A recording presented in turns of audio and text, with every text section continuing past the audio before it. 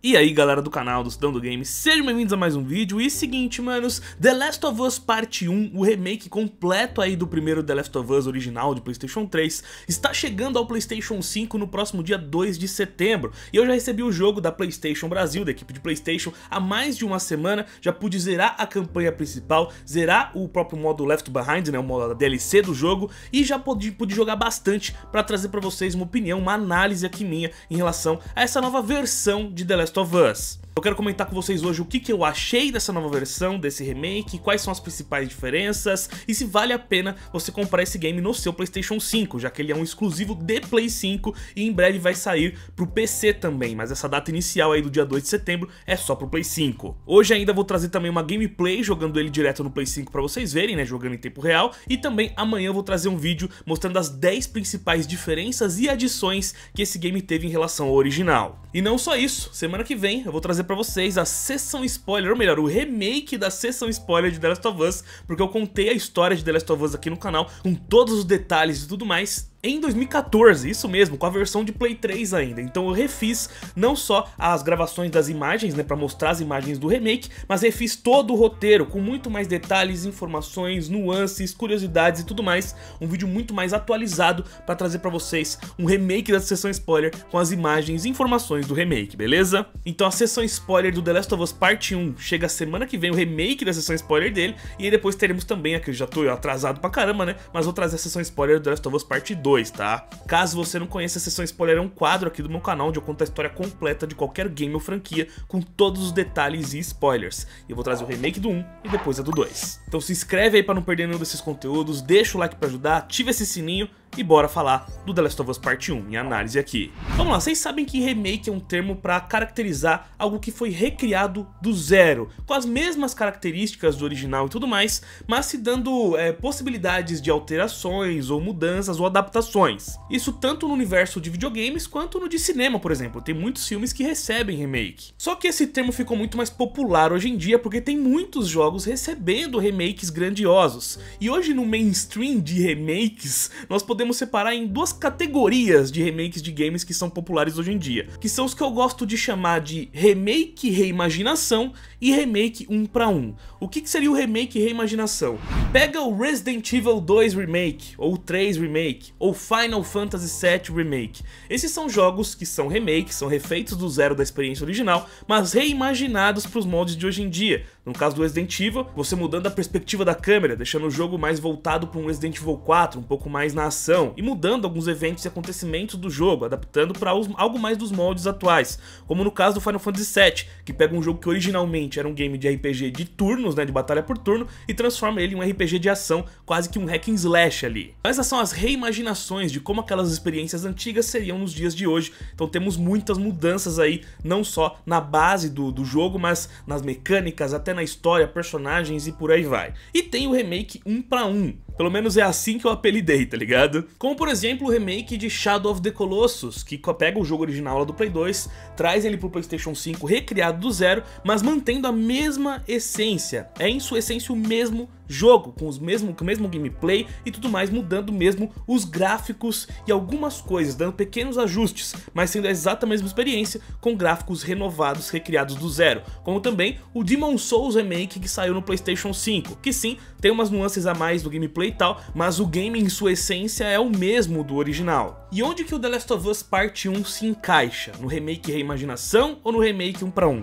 Claramente no remake 1 para 1, porque ele não tenta alterar em quase nada o game original lá do Playstation 3. Ele traz a exata mesma história, com os exatos mesmos diálogos, até o áudio inclusive não é mudado no jogo, é o mesmo áudio que tem no jogo original, ou seja, os dubladores não reprisaram seus papéis, é o mesmo exato áudio lá do Playstation 3, com o exato mesmo gameplay, física e inclusive as exatas mesmas é, direção de cutscenes, porque embora sejam gráficos novos muito mais bonitos e tal, não se muda nem o ângulo da câmera nas cutscenes, são exatas mesmas cenas, só que com gráficos e fidelidade muito maior. Então o principal chamariz do remake de, do The Last of Us Part 1 é justamente trazer gráficos de alta fidelidade no nível ali do Playstation 5, né? algo superior até ao The Last of Us Part 2. Então você tem gráficos de cair o queixo em todos os âmbitos aqui. Você tem os gráficos dos personagens que são fotorrealistas, dos ambientes, o jogo de sombras do jogo tá um absurdo de bonito, iluminação,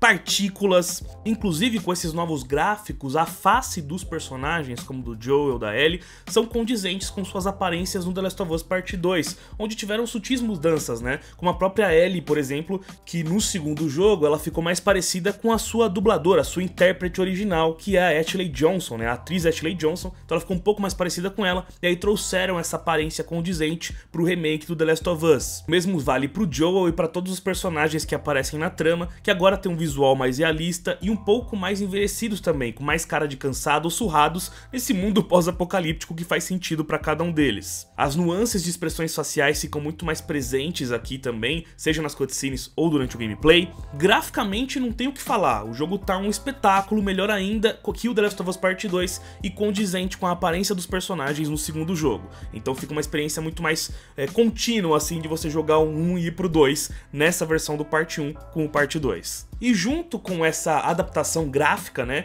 vem também algumas, algumas sutis adições que vieram do segundo jogo ou que foram feitas para esse mesmo. Então vou dar alguns exemplos aqui, mas vou fazer um vídeo detalhado sobre isso amanhã, tá? Porque tem muita coisinha bacana para mostrar e, e dar um vídeo completo fica bem melhor do que eu explicar no meio da review. Então vamos lá, por exemplo, algo que veio do The Last of Us Part 2. Sabe os cofres, quando você acha um, um documento com uma senha e vai lá e abre o cofre? No The Last of Us Part 1, o Joel, após achar o documento, ele simplesmente abriu o cofre. Agora você tem aquele sisteminha de senha, de você incluir a senha ali no cofre, conforme o The Last of Us Part 2. Inclusive que você pode ouvir os cliques né, do cofre para saber qual o número certo para deixar ali e abrir o cofre, se você quisesse fazer isso só a partir da sua audição ou até pela resposta tátil do DualSense, né, do controle do Play 5. Ou seja, isso não tinha no The Last of Us Part 1, é uma adição que veio do 2, né, adaptada do 2, mas não influencia no gameplay. É uma, uma adição ali bonita, tá ligado? Para dar aquele, aquela, aquela pincelada no jogo, deixar ele mais real e tal. O mesmo vale para a bancada de upgrades em armas, né? Antes a gente só mexia em menus e o Joel melhorava as armas. Agora você tem animações para cada arma dele mexendo, modificando, trocando os componentes e por aí vai.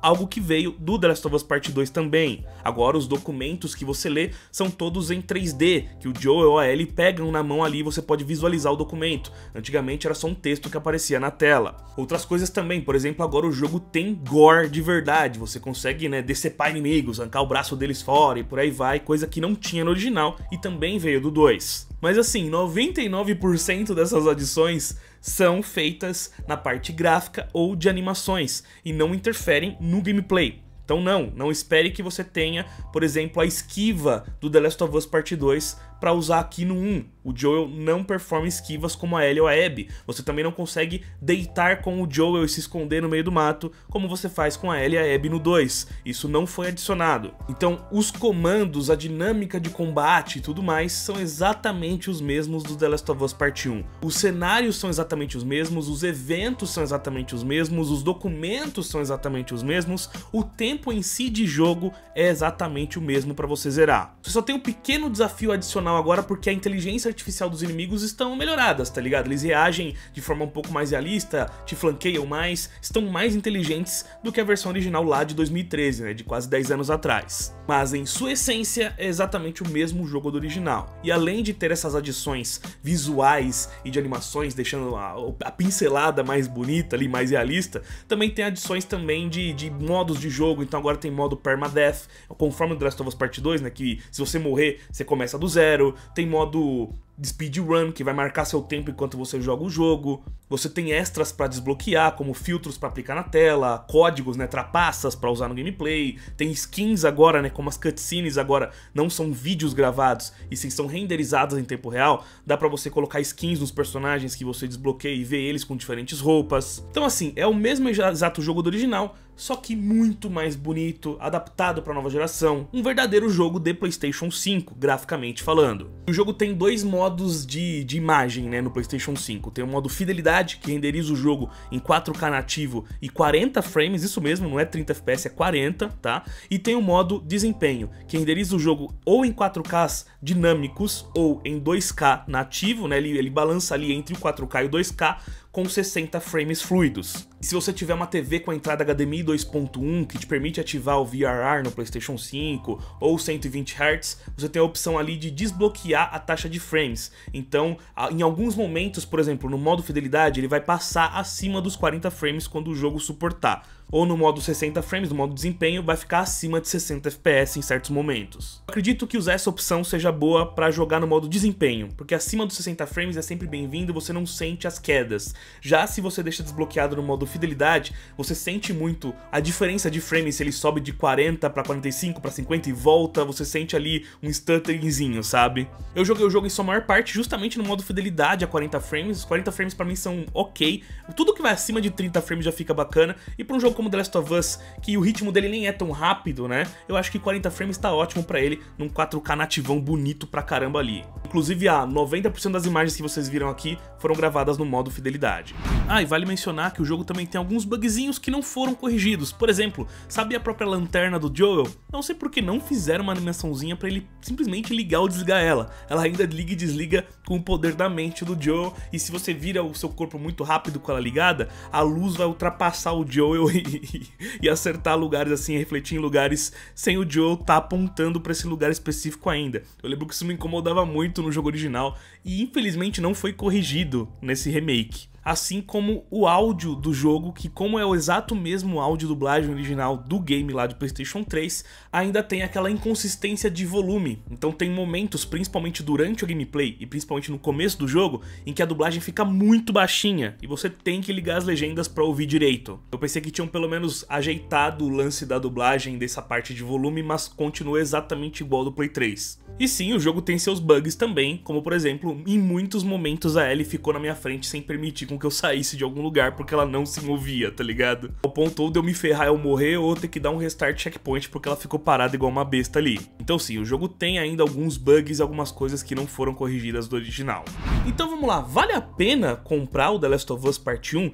Houve muita discussão entre a galera falando que esse remake era desnecessário. Eu até disse isso aqui no canal uma vez, porque realmente, né, nem faz 10 anos ainda que saiu o jogo original, né, e ele tá disponível para se jogar na sua versão remasterizada do PlayStation 4, que funciona ainda melhor no Play 4 Pro e PlayStation 5, dá pra você jogar em 4K, 60 FPS, e é um jogo que envelheceu muito bem graficamente. Mas parando para pensar, não existe males em existir esse remake. A PlayStation, a Naughty Dog não retirou o jogo original do ar, como por exemplo uma, uma Rockstar fez com o GTA The Trilogy, né, que ela vai lá, deleta os jogos originais que a gente estava acostumado, né, da versão de Play 2 deles das lojas digitais, e só deixa o GTA Trilogy que é um tanto cagado e mais caro. Não, isso não aconteceu, você ainda pode comprar o The Last of Us original de Play 3 online digitalmente no Play 3, você pode comprar ele em mídia física. O The Last of Us Remaster de Play 4, você ainda tem ele na assinatura do PlayStation Plus. Se eu não me engano, ele está disponível tanto na PlayStation Plus Extra e Deluxe, quanto na PlayStation Plus Collection do Play 5. Você pode jogar ele ou através da assinatura, ou comprá-lo digitalmente, ou jogar ele, né, em mídia física. Essas versões ainda existem e são mais baratas do que nunca, e são completamente jogáveis hoje em dia, porque são jogos lindos ainda. Eu vejo esse The Last of Us Part 1,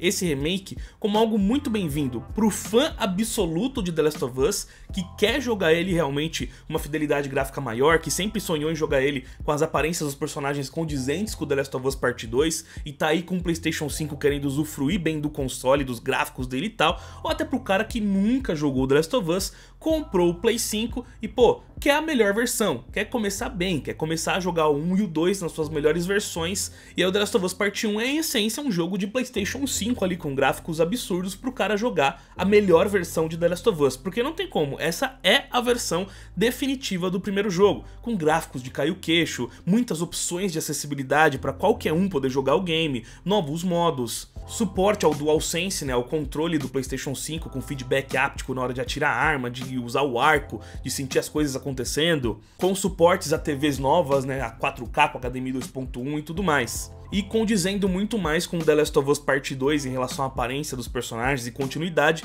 do que o próprio 1 original. Eu ainda acho que o preço de lançamento desse remake é salgado. Ele tá sendo lançado nos Estados Unidos, que a média de preço de jogos é 60 dólares, tá sendo lançado a 70 dólares, o que chega a 350 reais aqui no Brasil. Por mim, esse jogo poderia sim ser um lançamento de 60 dólares e com aqui no Brasil o preço variando de 250, no máximo 300 aí na edição completa Motherfucker, sabe? Mas é aquilo, essa nova versão, esse remake não exclui o game original, que ainda envelheceu muito bem e que você encontra nas assinaturas ou muito baratinho por aí. Eu não vejo motivos para não existir ou para achar ruim o que aconteceu com esse jogo. Não é um jogo ruim, ainda é The Last of Us e ainda é espetacular. Eu zerei de novo amando a minha experiência porque é um dos meus jogos favoritos e pude jogá-lo agora com a melhor versão possível, linda de doer os olhos. Mas, sinceramente, para mim só vale a pena você comprar esse jogo agora, neste preço cheio, ou se você é absurdamente fã de The Last of Us e precisa dessa versão, ou se você nunca jogou e quer jogar a melhor versão dele, tá com grana aí, beleza, vou comprar, vou jogar um e o 2 nas suas melhores versões. Se não, dá pra jogar tranquilamente o The Last of Us Remaster, o jogo ainda continua lindo pra caramba, barato ou acessível através das assinaturas, e deixa pra pegar o The Last of Us Part 1